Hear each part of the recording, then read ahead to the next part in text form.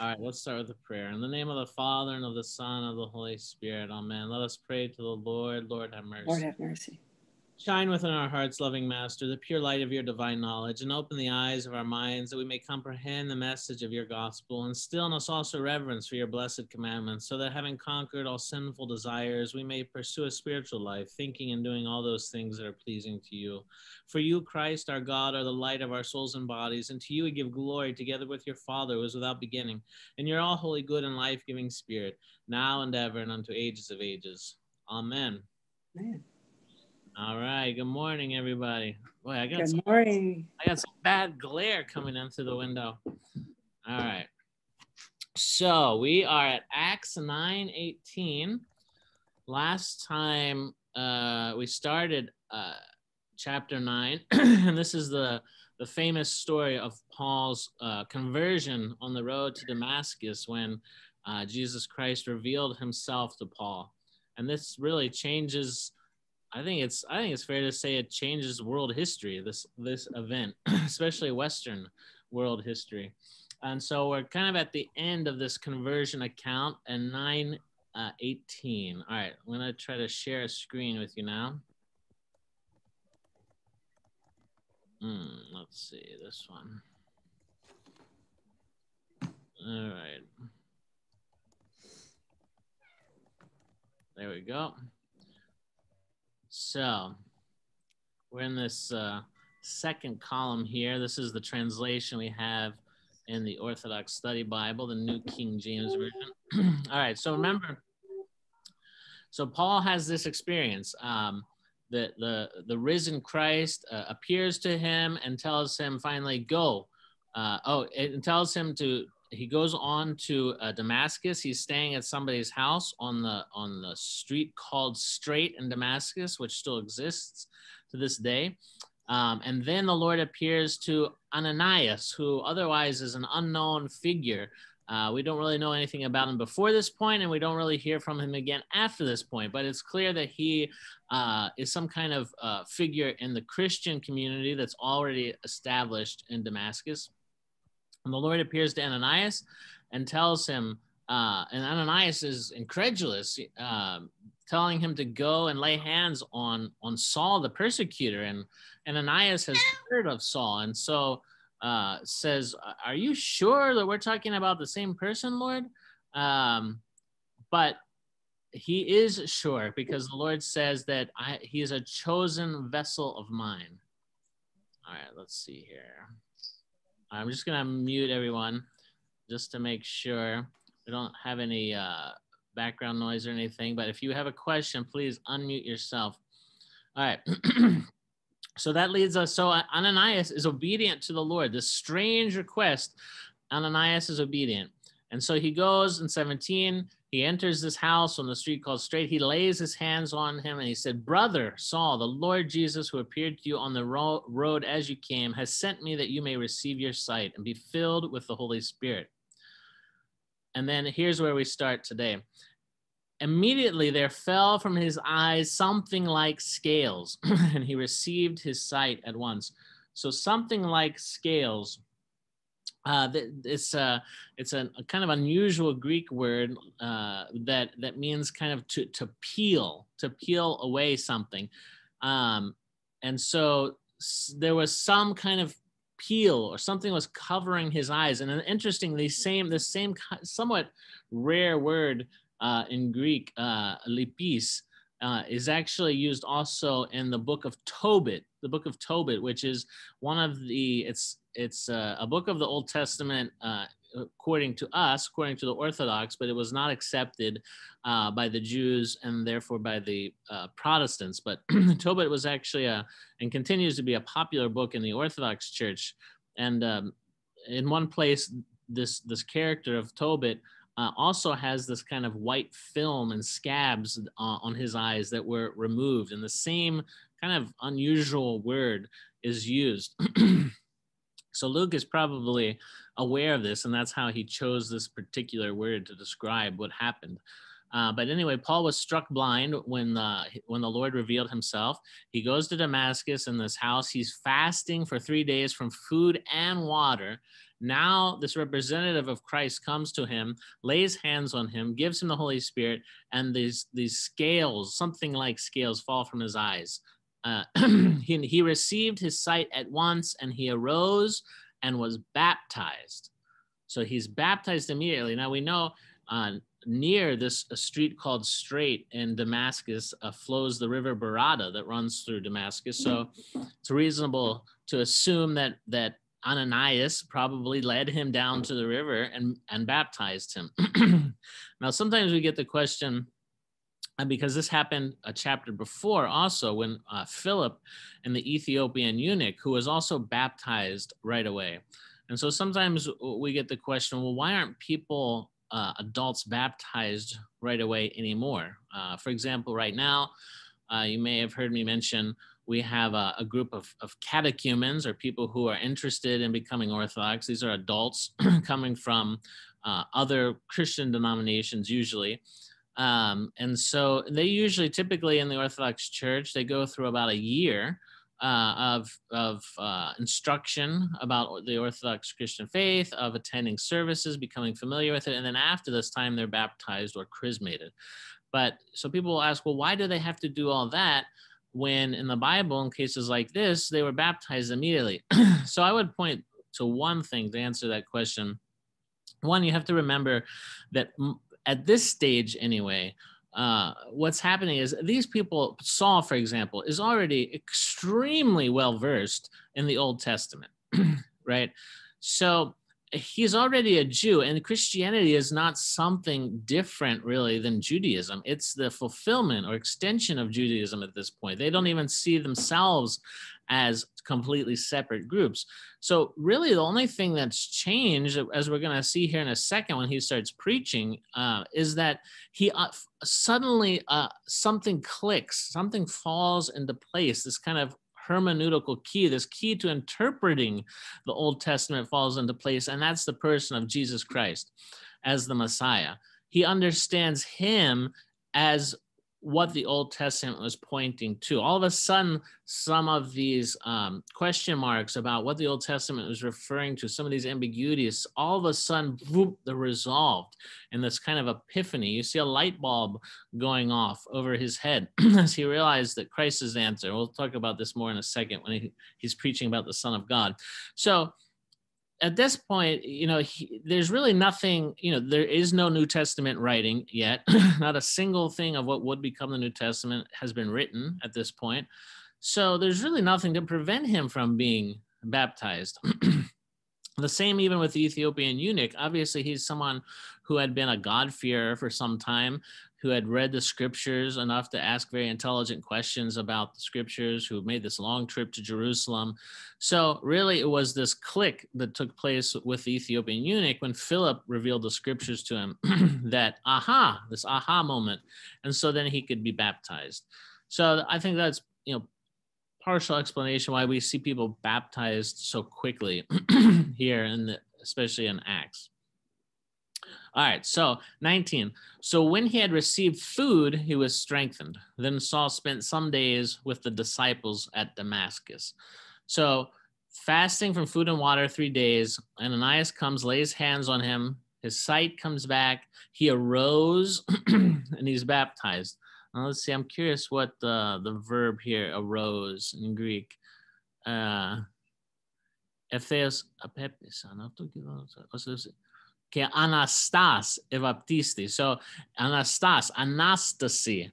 So Luke eh, anistame, this is the verb in Greek too. It just means this this word just means to stand up, literally. But it becomes in Christian parlance the word for Christ's resurrection. He stood up, he he rose again. And so Luke in particular has a tendency to use this verb in a very um, purposeful way because he's symbolizing so so Paul, in essence, you know, three days obviously symbolizes the time that Jesus was in the grave. No water for three days. I mean, this is something that uh, is potentially fatal. So you have this sense that that symbolically Paul is is dead. Saul, anyway, dies at this point. And when Ananias comes as a representative of Christ and fills him with the Holy Spirit, he rises from the dead, so to speak. He dies to the old man that he talks about in his epistles and he becomes a new man. So he receives food, he's strengthened, and he spends some days with the disciples at Damascus. oh yeah, so something I want to preach out. So this this really concludes the the um, Paul's con- conversion or call calling story, and it's interesting if we reflect back on Acts chapter five. Remember, Acts chapter five. Uh, they keep hauling the apostles in front of the Sanhedrin in Jerusalem and uh, Gamaliel, this respected uh, uh, rabbi, is brought in uh, because they're they're debating what are we supposed to do with these guys? They they beat them, they warn them, they don't listen. The the disciples don't listen. The apostles don't listen. Uh, so they bring in Gamaliel. They respect his opinion. Gamaliel says, if you remember in Acts chapter five, don't do anything. If if it's of God, then anything, nothing you do is going to make any difference anyway and if it's not of god it's gonna it's gonna peter out right well saul we believe was uh, a disciple of gamaliel but he takes a different view. There was a different faction even within the pharisee party that were zealots. Uh, they had zeal and actually i'm probably going to talk about this on sunday in the in the sermon but so so paul was filled with this religious zeal um, and so he tries with every ounce of his being through man's effort to exterminate this movement of Christianity, exactly opposite of what Gamaliel, his teacher, had told him, had said to do. And look what happens. Gamaliel's prophecy, Gamaliel's advice turns out to be exactly right because no matter what they did and no matter what Saul did, God was in charge of whether this would succeed or fail. And he uses Saul's zeal and turns it to the favor of the Christians. so it's this uh, this show that the sign that God is the one intervening into history and leading history it doesn't negate human free will, but there's this divine hand guiding history. Um, and then it's also interesting to note that if you look at Second Maccabees, uh, Second Maccabees which is important also. Second Maccabees, the Maccabees talks about this revolt, let's say around 150 BC, where there's this religious zeal to reclaim Israel from these foreign oppressors. They'll take violent measures if necessary. and there's this one figure, Apollonius, uh, a foreigner who's attempting to uh, steal from the temple treasury. This is related in Second Maccabees chapter three, and then it's recounted again in Fourth Maccabees. Um, and so there's a, a story there. oh yeah, it says. So he's he's uh, this figure Apollonius. He's it's some kind of like foreign officer. He's on horseback and he's riding to Jerusalem to plunder the treasury of the temple. Um, and it says in the text that angels. Uh, uh he's met by angels on horseback who appeared from heaven with flashing armor and knocked him to the ground. And so this is seen as God again intervening um, into history to uh, uh, divert this wicked plan. so there's something similar uh, going on in, in, Paul's conversion story. You know, he's he's going in on probably on some kind of animal like a horse or a donkey into Damascus to wreak havoc. And again, uh, not an angel this time, but the Lord Himself, Christ Himself, appears and knocks him to the ground and diverts his purpose. Well, there's also this may be getting a little too far afield, but there's also this um, you know the story of of Joseph in Genesis. and this this figure of Aseneth, who was the um, who was the Pharaoh's wife, right? And so she tries to seduce him. He rejects her, but she ends up turning him in. He, Joseph ends up going to jail based on her false accusations that he seduced her. Um, well, this, but that's all we hear. The story is actually very brief in Genesis, but there's this long history in Judaism of what they call midrash on this. So it's a kind of expansion. It's an oral tradition of what what's not said in the text. Was because people were so intrigued by this story of this kind of court intrigue um, the plot against joseph. And so this midrash is, uh, develops uh, expanding the story and then and it's a famous one. And then that uh, asenath uh, is actually comes to repentance for her um, behavior toward Joseph. She fasts for seven days and prays to be forgiven. Uh, and then this figure appears to her, calls out her name twice Asenath, Asenath. She asks, Who are you? Tell me. And he reveals that I am the chief of the house of the Lord and commander of the host of the Most High. So, that an archangel. She's told to get up, uh, wash her face and then it reassures her. So again, it's this kind of um, the story of this intervention of the Lord uh, into history. and then you have this uh, washing also, like with baptism. So it's interesting to see this because you can see that, you know, when you read the Bible, you start to acquire uh, a biblical mind, a biblical worldview. Uh, you start to see that the Lord acts uh, in in um, you know he's he's free to act however he wants, but there are times you can see patterns. You know, this is how the Lord thinks. This is how the Lord sees things. This is how the Lord acts in certain situations, typically. Um, and so I think that that's really interesting, and it's why it's so important that we spend this time to to read the Bible. I'm so happy that uh, you guys join me to read the Bible together because that's the way that we start to acquire God's way of seeing the world rather than just the world's way of seeing things. All right, so all right, so now we enter into the next section here. So 20. Immediately he preached the Christ in the synagogues, that he is the Son of God. this is what I was referring to. So, one, it's, it's interesting that Paul immediately goes to the synagogue. So, the same synagogues that he had papers from the high priest to, he, he was intending to go to Damascus and to go to the synagogues and to preach about this so-called Christ. But what he was going to do is root out who these Christians were and drag them back to Damascus and put them on trial. Now, interestingly, he still goes to the synagogues, but he's preaching about the Christ and how he's the Son of God. And this, this, it's interesting that uh, that Saint Luke uses this phrase "Son of God." uh, so, in the, the term "Son of God" uh, in the scriptures can refer to several things. It can refer to Israel as a whole, uh, Israel, all the Israelite people as the Son of God. We see that a lot. Then it comes to signify the King of Israel, as is sometimes called the Son of God. And then the latest uh, development is that this the future Messiah uh, will be the is the Son of God, right? So you see some of the same confusion if you think back last chapter to what the uh, the questions the Ethiopian eunuch had. It was kind of some of the same questions that appear in Isaiah uh, about this identity of the suffering servant. Sometimes it re- refers to the suffering servant as um, as uh, or the servant of God as Israel, meaning the whole body of Israel, and sometimes it appears to refer to the single man, the single figure who could be related to the, the Messiah figure.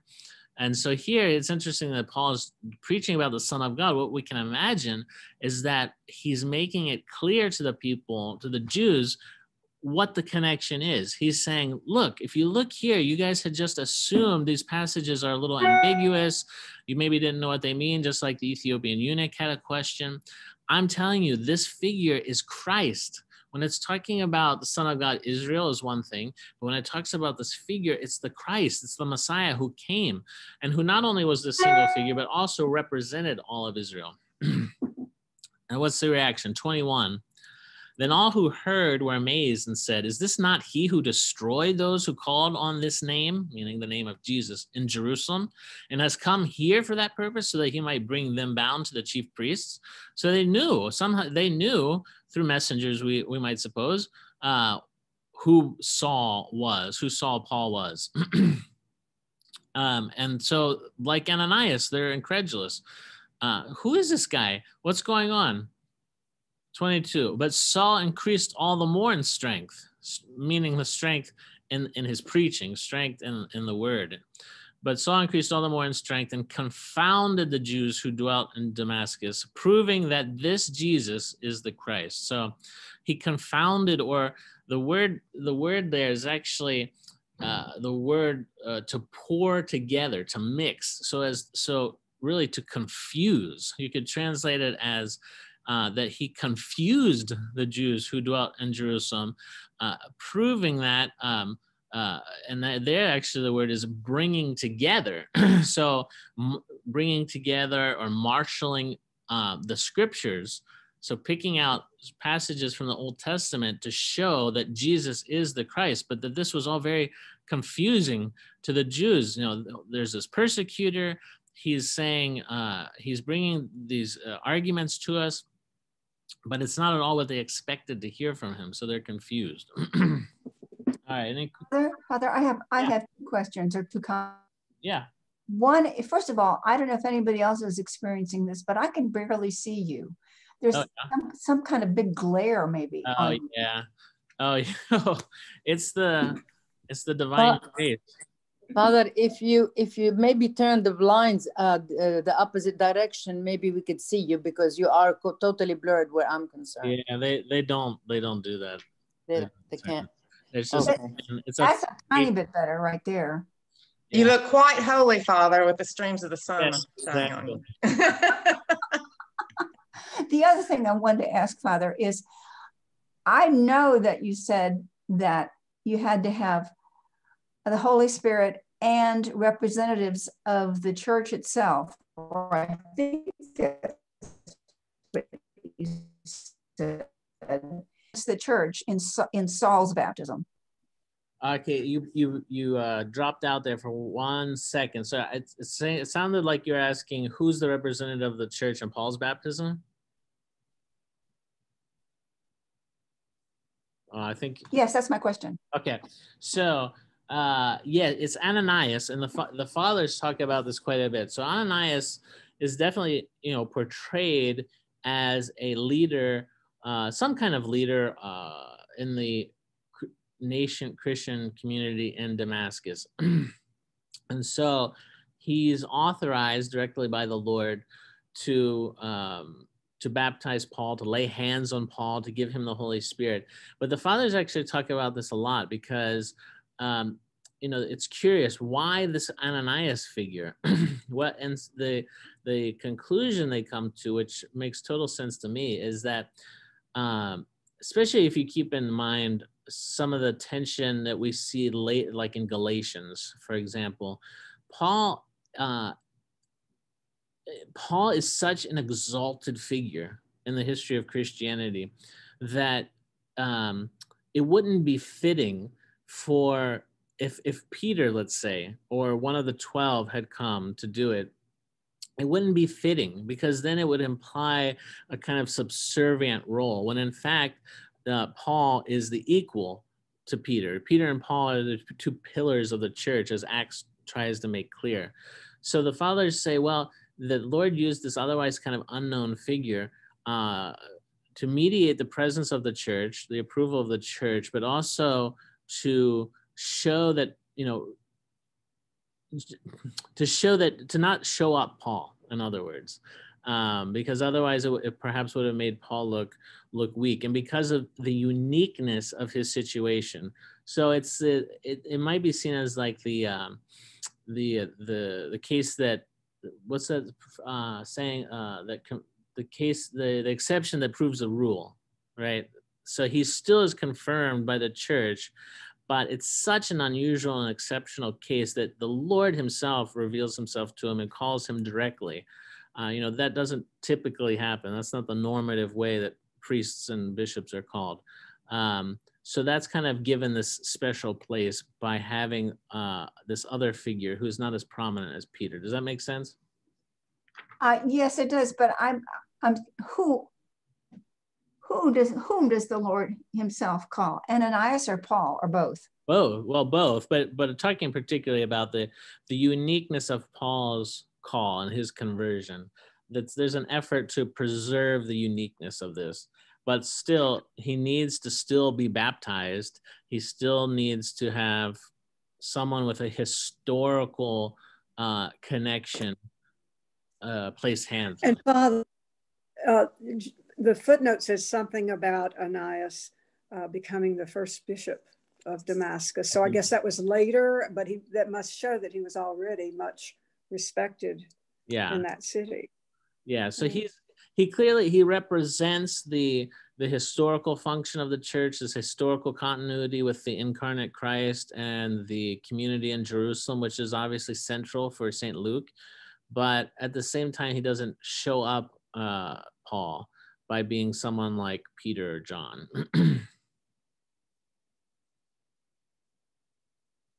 All right, so let's go on here. All right, so improving that Jesus is the Christ. All right, it's 23. now, after many days were passed, and right, here, this whole section about, about Paul's call and conversion uh, is an extremely, um, let me see if I, actually, I'm going to try to move somewhere else. This is really bad. Um, so it's an extremely complicated, uh, there's a lot of ink spilled about Paul's, um, the timeline, the chronology, because we get pieces from Paul himself in his letters, specifically in Galatians chapter one, which is happens to be the epistle reading for this coming Sunday. Uh, and so a lot of a lot of ink is spilled trying to reconstruct exactly what happened. And in the end it's just it's too far afield to go into the details. But there is a lot of agreement on the basic structure of what happened. And then there's some uh, gray area if you if you really want to get into details. So um, when he says now after many days were passed to me in my opinion the most likely explanation is that this coincides with the three years that paul talks about uh, so Paul talks about that he went off to Arabia and then he returned to Damascus. And after three years, he finally went to Jerusalem.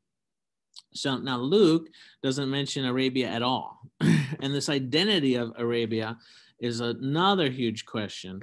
Uh, I kind of have my opinion on that. I my opinion is that what he's referring to is that he goes to Mount Sinai or Mount Horeb in imitation of, of Moses, uh, and then comes back to Damascus and continues his missionary work there. And when he talks about three years, it's almost certain that he's the Jewish or even the Greek reckoning of time, which three years would could mean and probably would mean in this case, um, not a solid 36 months, but it would mean some part of, let's say, 2018, like December 2018, November 2018, all of 2019 into January or February uh, 2020, right? In the Jewish reckoning, that would be three years. so it's a part or whole of three different years, but it could in practice be 14 months. So anyway, uh, that's what when Luke says here now after many days were passed, probably it's this period, and he just skips over Paul going to Arabia, wherever this is. he comes back to Damascus and he continues his work there. Now, what does this lead to? Now, after many days were passed, the Jews plotted to kill him. so, this is kind of a uh, a familiar pattern we're going to see with Paul is that he goes always, he always, he goes first to the Jews. He always starts his preaching to the Jews. They always reject him, and then he goes to the Gentiles. Uh, all right, so 30, oh, sorry, 24. But their plot became known to Saul, and they watched the gates day and night to kill him. And the word, the word watch, there's uh, uh, paretiro, which means to observe closely. And this is the exact same word we read in the Gospel of St. Luke when they were talking about the Pharisees and the scribes watching Jesus. Remember, they're always watching his every move to catch him in something. So it's the same behavior now of the Jews of Damascus towards Saul. They're trying to get him and they're watching the gates. What does that mean? The gates. So, you know, like most ancient cities, it was a walled city and it would uh, at night they would they would close the gates or they would bring up the drawbridge or or bar these big solid uh, gates with a big metal or, or wooden beam so that it couldn't be penetrated by an attacking army Um, and then typically uh, you were in for the night and there was a known time. For example, you know, whatever the time time was in the evening, there would be a known time that the gates would close. And if you were in, you were in. If you were out, you were out. Now there were exceptions. You know, if there was some kind of emergency or something, permission could be granted to open the gates to let you in or out. But this was unusual and would require special authority because it was a security issue. So, so anyway, they're watching. So the gates of any walled city like Damascus would have been um, there would be a limited number of ways in and out of the city. And it was, so it would be fairly easy to watch whether he is uh, going in or out. So they're watching the gates day and night to kill him.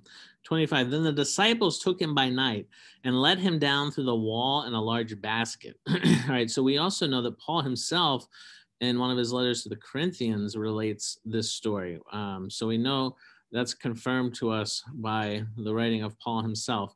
And so it looks like what happened is um, so the the walls of an ancient city would would sometimes be uh, you know 20 meters wide 20 meters thick and there would be in other words there would be multiple walls so it'd be a one an outer wall and then kind of an inner wall and what happened was people would actually build their homes in between these walls uh, on the outskirts of the city and you could imagine it was probably beneficial for the city to have people living there because it was like a first line of defense. If someone, if an attacking army was trying to penetrate the outer wall, there's actually someone sleeping there who could raise an alarm, right?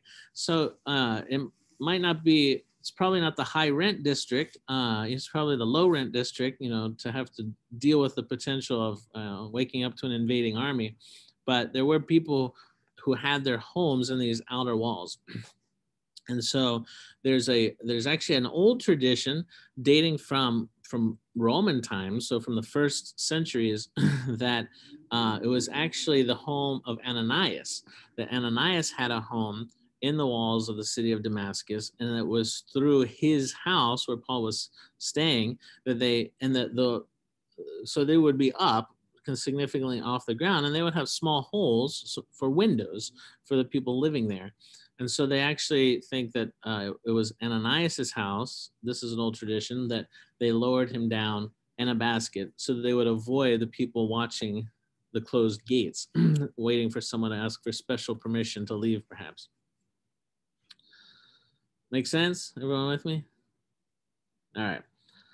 26. And when Saul had come to Jerusalem, so he leaves Damascus in this kind of extraordinary way through a window to avoid being killed.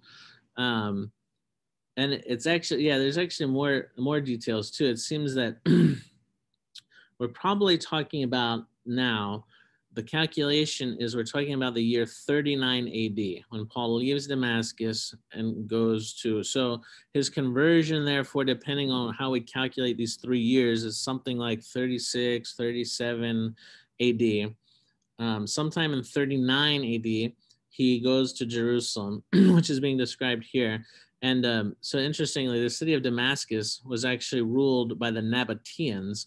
Um, and the Nabateans had been given control uh, in like 37 AD. Uh, the Nabateans had this this kingdom, which in what is now basically Jordan, and Petra, uh, which I got. The, have you guys ever heard of the city of Petra in Jordan? It's this city that's basically inside this valley, uh, and it's carved in to this soft rock. Uh, it's incredible. I was yeah, like, I've been I've been there several times, Father, but yeah. I didn't know that the Nabateans at one time had control of Damascus. Yeah, so it's actually Caligula uh, in 30, the Roman Emperor Caligula in 37 AD, after Tiberius died, gave control of Damascus to the Nabateans. so hmm. that name will come up later. Um, and so the king Aretas, uh, we learn about this when Paul's later in chapter 20 or so uh, of Acts, Paul's retelling the story and he mentions King Aretas, who was the Nabatean king, uh, who probably had assigned some kind of chieftain to oversee Damascus because it was on a, an important trade route and there were a lot of Nabatean merchants in Damascus. so anyway, there's a conflict there because in Paul's account to the Corinthians, he seems to Paul puts the blame on the on Aretas, this, on the Nabateans, whereas here Luke says it's the Jews who pers- who got him out of the city. And so some people will try to say, oh, well, look, they're, they're disagreeing again. But actually, they're not really mutually exclusive because the, the Jews probably wouldn't have had any power per se in Damascus, but they could have used their influence to go to the Nabatean ruler and accuse Paul of stirring up problems, etc., and get him to act. So it's not actually mutually exclusive. All right.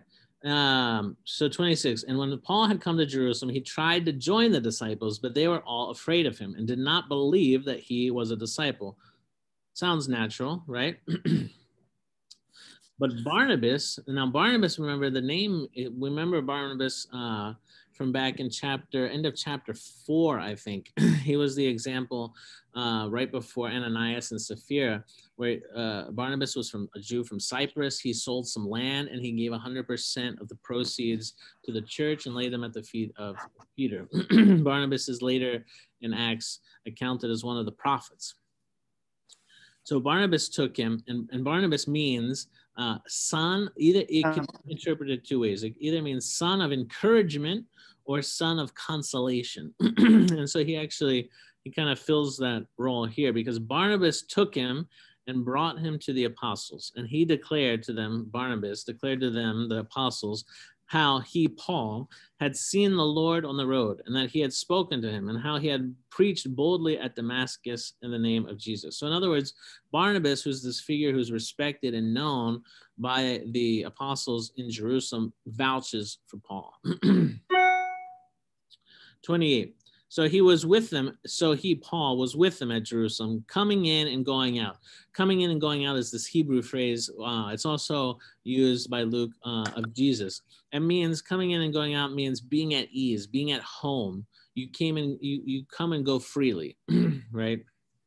It means you enjoy this uh, familiarity, communion. You're you're accepted. Um, so apparently Barnabas's intercession works here. And based on Barnabas's word, they accept Paul. 29. And he, Paul, spoke boldly in the name of the Lord Jesus. So spoke boldly, the Greek word is parisia. Parisia is this important Greek word meaning to speak boldly, openly, um, having parisia, you know, if you look at the lives of the saints, it will often talk about the, the saints having parisia with the Lord. Uh, the mother of God, above all, has parisia with with her son.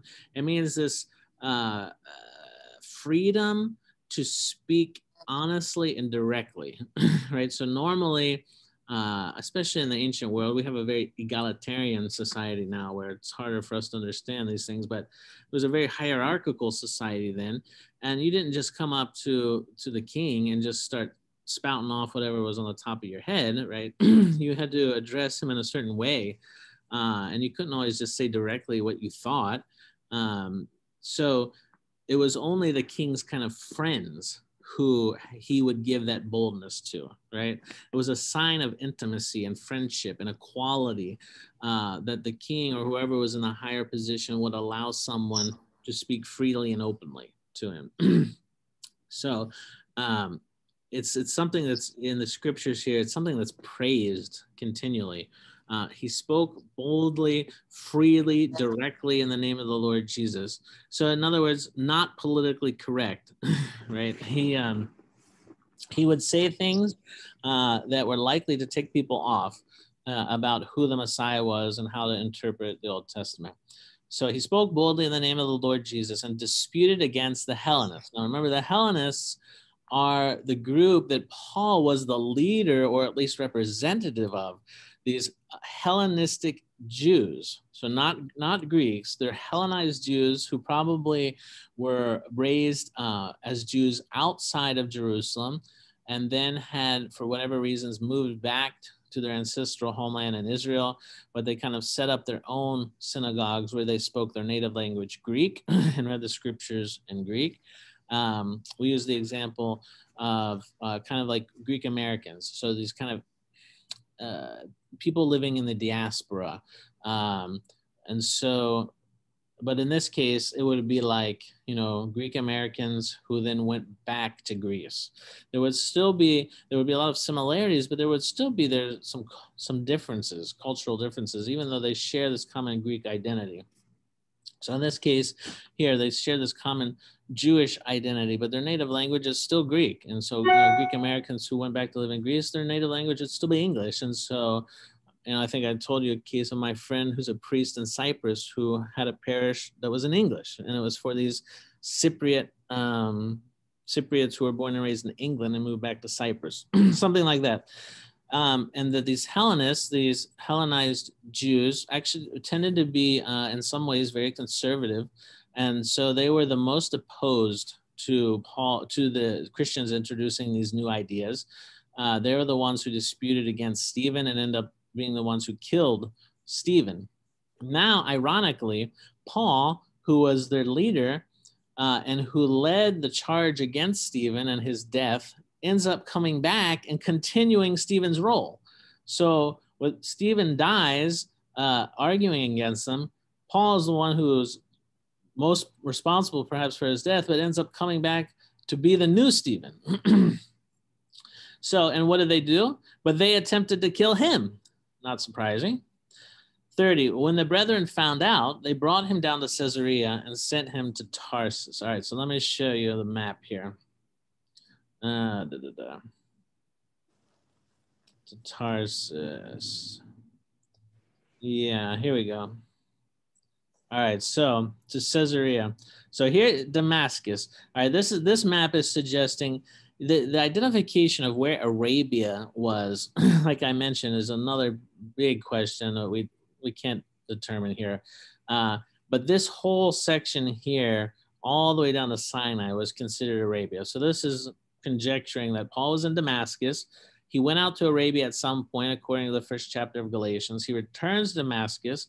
Then he's let down through the window and goes down to Jerusalem. Then they send him on now to, when the, the Hellenistic Jews try to kill him, they send him up to Caesarea, which was a major port and they send him on his way to Tarsus. Now, this is where he was from. This is modern day Turkey here, Cyprus. So they send him on his way back to Tarsus to get him out of harm's way so that he doesn't end up getting killed. All right. Makes sense? Follow me? And then now the, the story turns. So we've, and, and now the story turns to Peter. And so Luke is very kind of um, deliberate and, and ingenious in the way that he he tells this story and he, he takes all these sources that he had he must have had many dozens of sources and he uh, puts them together in a way that makes sense so he introduces paul now he's going to flash over to peter and he's developing these two these twin pillars of the church and uh, in their mission this is a kind of summary statement here 31. Then the churches throughout all Judea, Galilee, and Samaria had peace and were edified.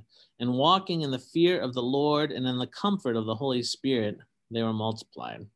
So I mean, it's a little bit ironic that you know as soon as Paul leaves, there's peace. Um, and this is kind of a, a pattern. Wherever Paul goes, he tends to uh, he tends to stir things up because of his bold speech. All right, now it's going to turn to Peter 32. Now it came to pass as Peter went through all parts of the country that he also came down to the saints who dwelt in Lydda. all right, so I'll go back to the map here. So here's Jerusalem. Here's Lydda. It's uh, Lydda is the Greek word for Lod in the Old Testament. Um, it's a it's a fairly big city, and this area here is called the Plain of Sharon. Uh, it's probably the biggest city in this plain here before you get into a, a mountain ridge here. Uh, that's probably why this this this path here is zigzag because it's going through a mountainous area. And it's about from Jerusalem to Lydda, it's about 25 miles or so. And from Lydda to Joppa, it's about 12 miles. All right. So, so you can imagine what's Peter doing? It sounds like Peter's kind of having this almost tour through the area. Now, you remember uh, back in chapter eight, Philip goes, he preaches in Samaria, and then Peter and John come to kind of confirm his work, to lay hands on the people and give them the Holy Spirit. One could guess that something similar is happening now, that, that Peter is uh, continuing to travel throughout this area. We're going to see Luke just assumes that there are, um, he doesn't even explain how it came to be, but he reports, as we'll see, that there are these pockets of Christians, these Christian communities forming. Probably, we can assume as a result of the persecution after Stephen. Now, now two, three years have passed, and the the fleeing of especially the Hellenistic Jews out of Jerusalem because of this uh, persecution, Hellenistic Jews who believed in Christ, they start settling outside Jerusalem and forming some communities. And Peter is going around confirming the people there who are becoming Christians. so just as uh, there's episcopal oversight in the church to this day, its foundation comes from there. So Peter's traveling through, he comes to Lydda. There, 33, there he found a certain man named Aeneas, who had been bedridden eight years and was paralyzed. So this Aeneas uh, it's a very interesting name. It's it is a, a, Greek or Roman name. It is not a Jewish name, uh, and in fact, it's an important name with historical significance. Aeneas is this figure in Homer's Iliad, and uh, starting with um, the reign of Augustus Caesar, so not long before the time of Christ, so maybe 30 BC. Uh, you have Augustus Caesar coming to power and the, the, the poet Virgil and Augustus Caesar, he, he starts to influence the writing of Roman history. And they start to, let's say, tweak Roman history to show that Caesar Augustus is the kind of culmination of this glorious Roman history. Now, Aeneas, interestingly, and this is this is before BC, this is 30 BC or so. Virgil writes this story called the Aeneids. Have you guys ever heard this name, the Aeneas? Yes. Yes. Famous. Uh, It's a myth. It's a mythological history um, that traces. It's kind of the sequel to the Iliad. And the Iliad is probably the the greatest story of the ancient world, especially the ancient Western world, written you know 800 BC or something like that. Now this is 800 years later. But Virgil takes up to write this sequel, and it follows this character from the Iliad called Aeneas, and basically traces him as one of the founders of Rome. And so the name Aeneas is a really interesting, uh, it's really interesting that this man happens to be named Aeneas because it kind of symbolizes Rome uh, under Caesar Augustus, the modern, the contemporary Roman citizen. So you you may see some, some people may see some symbolic significance in this uh, idea of raising uh, uh, helping curing this paralyzed lame Roman um, at a time that some would argue that the Roman Empire was kind of entering into this decadence.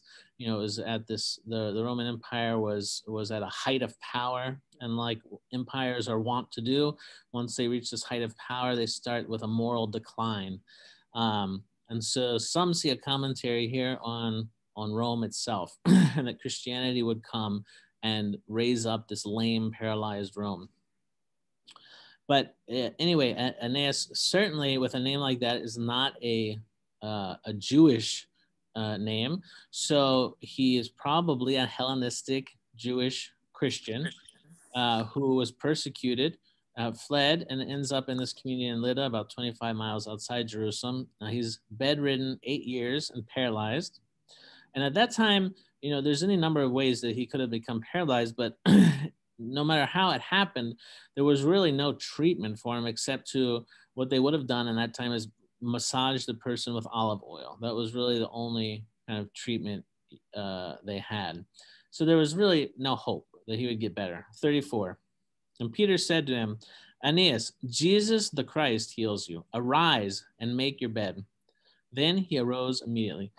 Now I'll just say this arise and make your bed.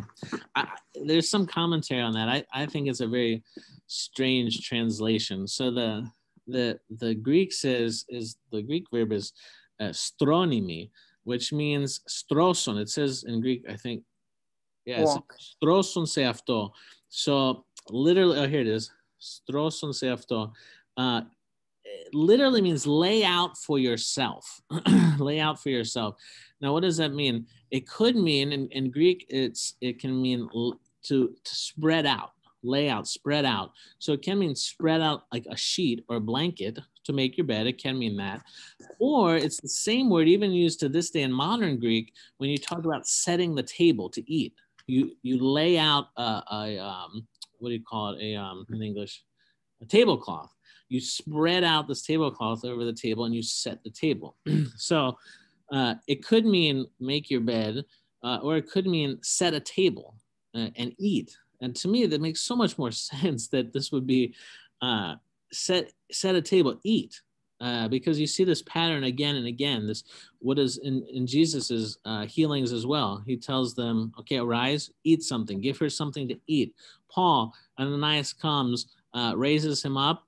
He eats. Um, to say arise and make your bed is kind of strange. Although Jesus does say, uh, "Arise and take up your bed," so it could be an allusion to that. But in any event, it's following this. What what Peter is doing here is a miracle based on the work of Christ. So, like it told us in the beginning of Acts, what's happening here is that Christ's church, his his representatives, the apostles, are continuing the work that Jesus began to do what Jesus began to do and teach. So Peter is the continuation of the work of Christ, just as we see the church to this day. It's the body of Christ continuing to teach and heal and work in history as Christ himself. So he arose, uh, Ananias arose immediately.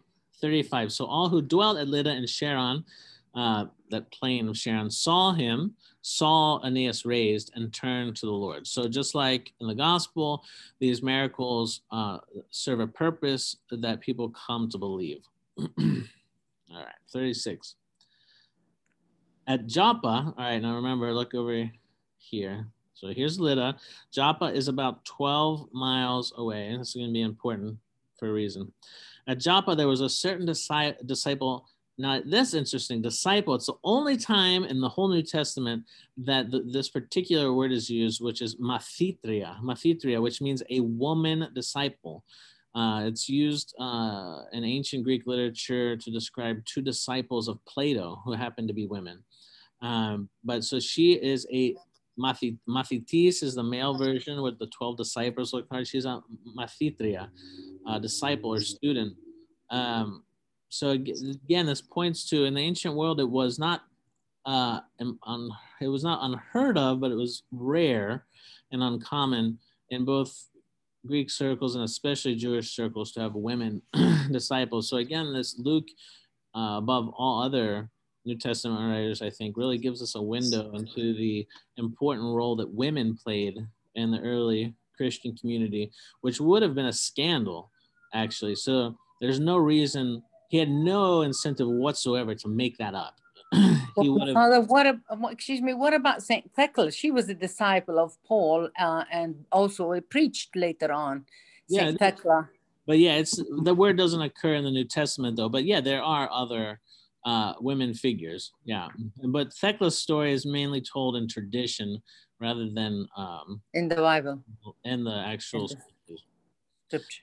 All right, so at Joppa, so it's on the seacoast, about 12 miles away, there was a certain uh, woman disciple named Tabitha or Tabitha, which is translated Dorcas. So Tabitha Tabitha is an Aramaic term. It's translating, um, it's the Hebrew is, I think, Zebi or Zebiah, which is the, the, the mother. It's a name, I think, in, um, I think it's in First Kings. It's the mother of the, of Joash who was who was king. So anyway, and it means uh, so you have Zebi, Zebiah, Hebrew, Tabitha, Aramaic, Dorcas in Greek. All means the same thing. It means gazelle. the word gazelle. Now, interestingly, uh, in the uh, Old Testament, besides that name, you don't really see it except for the most notable place where it appears is in the Song of Songs, where you know Song of Songs is this image, beautiful poem uh, imagining uh, the beloved. Now, the beloved really stands for our desire to unite with with God, who's our beloved, um, and God's desire for us. but this figure of the gazelle is used in the Song of Songs as this kind of beautiful creature, as this figure of the beloved, and so that's what the the name means here, Dorcas or Tabitha. Um, so, and it says, so there was a certain woman disciple named Tabitha or Dorcas. This woman was full of good works and charitable deeds, which she did. And it's interesting how how the scriptures praise this praise this disciple of the Lord. Um, it doesn't say anything about her teaching or anything like that. Her good works and charitable deeds she's praised for. 37. But it happened in those days that she became sick and died. When they had washed her, so this was according to the Jewish tradition, which the Christian church takes over and continues to this day. Um, you know, especially in Greece, we see to this day that you know funerals typically happen within one day. Uh, the body is taken not by some funeral home uh, that's paid to do this and stuff them full of chemicals, but rather it's taken by certain uh, people in the community of faith, and the, the, the body is carefully washed. it's also anointed. Uh, and then that's laid, it says here, and they laid her in an upper room. So this was the Jewish tradition. It's still a Jewish tradition. It's our Orthodox Christian tradition to this day that uh, it would be laid out, it would be washed, cleansed, and all this would happen very quickly because it's typically all within one day, within 24 hours. So it might include a night, depending on when they died. It'd be laid out in the home, and this is the origin of the wake. Um, that people would come and pay their respects. And I, in Greece, I saw people laid out on their dining room table. I mean, so can imagine your house, imagine your dining room table, that your loved one would be laid out there, and that is completely normal. That would be the tradition. Um, so there you have this upper room where they would be laid out. Um, and we see this also in um, Second Kings. You know, the the the widow of Sarepta. Um, uh, she lays her son out in the upper room. Elijah comes. He prostrates himself seven times on the corpse and is rises again. so the same kind of scene is being evoked here. So they they lay they follow the customs. They lay her out. they put her in the upper room. 38. And since Lydda was near Joppa, 12 miles, and the disciples had heard that Peter was there in Lydda, they sent two men to him from Joppa, the coast, imploring him not to delay in coming to them. Because why? Why not delay? Because they have 24 hours to bury this body. That's why. And they're asking him, imploring him, come quickly. And so, about this 11 or 12 miles distance could probably be covered in about four hours. So, it, it's important because it makes it possible that Peter actually could, if he left right away, he could make it in time to see before this 24 hours had elapsed. and so it says, indeed, 39, then Peter arose and went with them. When he had come, they brought him to the upper room, and all the widows stood by him weeping, showing the tunics and garments which Dorcas had made while she was with them. So it said she was known for her good deeds, her charitable deeds. So it seems that she actually, one of her ministries was to make clothing for the widows. And the widows are always, from Old Testament time, the special class um, that the it's called upon to take special care of the widows. You know, it's not like our day where, where we've built in institutional kind of safeguards uh, to protect women that they might, uh, I don't know, carry. And this is probably from more from a generation ago, but you know, where they would take over their husband's pension plan, etc. that that didn't exist in this time. So it really fell in the religious communities, and the Old Testament makes a big deal about caring for widows. So it seems that what Dorcas had did had done was she made clothing and gave it to these poor widows. And so here are these widows actually wearing the garments that Dorcas had made for them. Uh, as they weep for her and lament her uh, in this kind of wake. 40. But Peter put them all out and knelt down and prayed. So remember, Jesus, again, evoking Jesus's um, style. And Peter was with Jesus. He knew how the Lord worked, and he's imitating the Lord. He's carrying on his work. Peter put them all out. He knelt down and prayed. And turning to the body, he said, Tabitha, arise. Now, interesting here that remember what Jesus says to the little girl, Talitha, arise. Because in Aramaic, Talitha means little girl. Tabitha is this name that means gazelle. So again, we're seeing this parallelism with the work of Jesus being continued with Peter. Tabitha, arise. And she opened her eyes, and when she saw Peter, she sat up. Then he gave her his hand and lifted her up. Again, this word anistame, to, to raise up, which is the exact word of the resurrection, to raise her up to be resurrected. uh, when he had called the saints and widows, he presented her alive. And not only was she alive, she, like Paul saw, she had died. She had died and was risen again. She was already participating in some way in the Christian hope of the resurrection. and it became known throughout all Joppa, and many believed on the Lord. So again, another miracle, just like in Lydda, uh, someone is raised raised from uh, paralysis, long-term paralysis, raised from the dead, just like Jesus did. And in both cases, these extraordinary miracles aren't just for show, but uh, have a purpose and lead to people converting. so 43, the last verse of this chapter. So it was that he stayed many days in Joppa with Simon, a tanner. So a tanner was uh, someone who treated hides and typically in the ancient world, the way you did that was a lot of times through urine, actually, was a key ingredient. But in, in any event, it was a very, um, mm, what's the word, odorous profession. And so it's not surprising that it's at Joppa, which is on the sea. so probably he would have lived a little bit outside where everyone else lived, probably lived close to the water. So he had to have access for water for constant cleansing. Um, but it's considered an unclean profession by the rabbis. And this is going to be kind of important rolling into chapter 10 this idea of uncleanness. so Peter stays with this guy who the rabbis would have considered uh, unclean because of the nature of his profession. All right, so that concludes chapter 9. Any questions? Don't be shy. Not your son. You're too much information. No, no. Talitha Kumi uh, is what the you said about Jesus when he raised the little girl, right? Yeah. That's the Talitha, and this is Tabitha or um, or Tabitha here. Um, and that that is an Aramaic name, right? Tabitha. Yeah. Or Tabitha. Tabitha, really. It's in Arabic. It's Tabitha. Mm-hmm. Um. So um, just wanted to clarify Talitha versus Tabitha. Yeah. Talitha means little girl, right? But yeah. Tabitha is an actual name. Yeah, but it all and it also means gazelle. Gazelle. there's yeah. definitely a word play going on here. Some people see also a word play um, when when Peter says, um, uh, "Be healed," uh, or where does he? Say where does it? Be healed, the Lord Jesus, in the name of the Lord. Oh, here he Jesus says, Christ heals you. Jesus the Christ heals you. It's actually in in um, in Greek. It's iete Iisus Christos. Iete se Iisus Christos. So it kind of has this iete Iisus. The names, the name Jesus is kind of close in sound to the word for healing, and uh, you know Greek Greek is like that. It's a very uh, it's interested in, in how it sounds. Iete se Iisus Christos. Uh, so some people see a kind of wordplay going on there. Father, I'm confused about. Oh, are you I you're unmuted. I think you were unmuted and try again.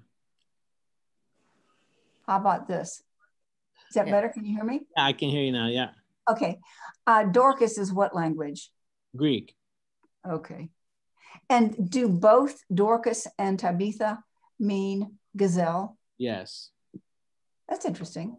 Yeah, it's the same person. So her name is Tabitha in Aramaic or Dorcas in Greek. So, but it's referring to the same person. That's so it's like, you know, we try to do that too. Um, sometimes when maybe a convert uh, comes to Orthodoxy and has uh, a name that maybe doesn't have immediately a saint attached to it, we'll actually we'll try to go find a cognate. So what does your name mean in whatever the language is, uh, in Old English or German, and what's the cognate in Greek? And then usually there's a saint who has that name, and so they'll take that name. Father, you know the idea, the concept of the upper room up till today in the villages and towns of Palestine if this village doesn't have a major center where people gather, there's always an upper room still where they all get together if there's a big event. In mm. Ramallah, we had an upper room, you know, like, and every clan had its own upper room, you know, like the Abraham clan had their upper room, and another. So it's it's a concept that continues in the Holy Land. Yeah, Yeah, it, it was usually the the upper room was usually you know they were they were block kind of one story houses, but the upper room was on the roof. A lot of people uh, there would be a ladder going to the roof, and then you could build an if you had some money you could build a kind of upper room, a second floor uh, on the roof. Yeah. All right. Well, thank you all for joining us. Thank you, So- Father. We'll start Thanks. chapter 10 next week. It's a lot of good information, Father. I'm so glad. Thank you, Father. Good to see everybody. God bless you guys. Thank you. Bye. Thank you. Bye. Bye-bye. Bye. Bye.